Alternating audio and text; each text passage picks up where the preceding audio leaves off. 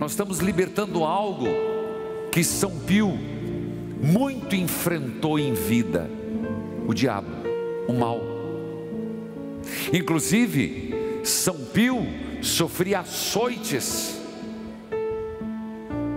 verdadeiras guerras psicológicas e físicas. Jesus fez alguns exorcismos. Então, não se iluda que o diabo não existe.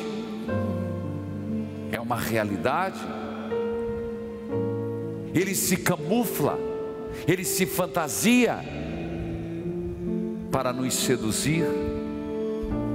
Então a pergunta é: onde hoje o mal está se manifestando na minha vida?